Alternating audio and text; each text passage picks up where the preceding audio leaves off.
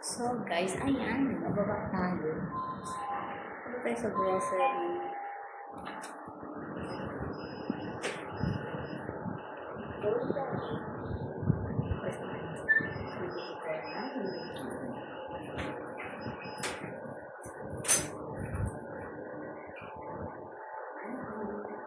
Okay.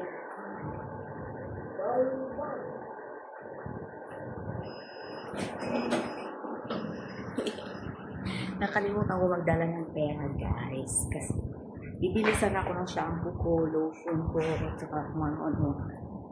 Oh, andito na ako sa baba. Eh, hindi na ako pwede umakyat. Mahirap kasi yun, guys. Ano, halimbawa, no, may lakad ka, tapos may nakalimutan ka, babalik ka naman. Hindi kasi daw maganda yung ganyan. Kaya kung may lakad ka at may nakalimutan ka, eh tuloy mo na yung lakad. Huwag mo nang balikan yung nakalimutan mo. So mamaya, pag akyat ko, saka na lang bababa na lang ako ulit. Ganun na lang ang gawin ko. Kasi parang mas mahirap pala yung ganun. Nagpulang Charles. Ay, nagpulang sarado.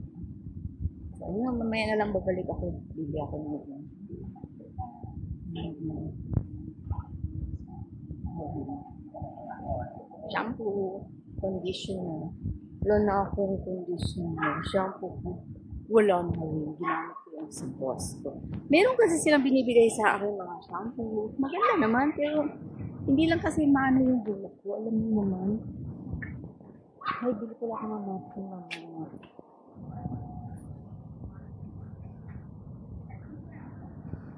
Ba't nagmahal na ang carefree? Sabi mo, siyempre nag-shopping ako. Sabi magtawag muna ako sa darling, naghahin ako ng pambili. Ala, dito pala yung peanut butter na mura, oh. Pabibili ko yung isang araw, eh. Naku, uuwi ako, wala akong dala kasi wala akong ba... Alam niyo guys, uuwi ako ng Pilipinas. Hindi ako nagpakuha ng baggage. So, uuwi ako ng walang dala. Hand carry lang, 7 kilos. Eh, damit ko lang yun. Anong laman ng bagahe ko? Sapatos. Saka, isang pantalon.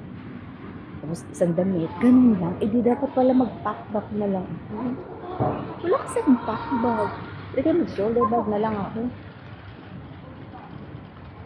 Try ko nga, umuwi na lang ka-shoulder bag na lang. Charing, first time ko to gagawin ka ganun. Wala ano ba? Kasi parang uuwi lang ako ng Pilipinas, iuwi lang ako doon. Ano ba dyan? Kasi guys, alam mo, ano lang ako, kung bibilangin mo, parang 3 days lang ako dyan. Kasi yung isang araw, biyahe. Tapos yung isang araw, biyahe. So, 3 days lang talaga. Ay, naku. May ganong bakasyon. Rush lang kasi yung bakasyon ko.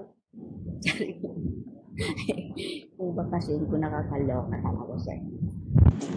So, andito na tayo.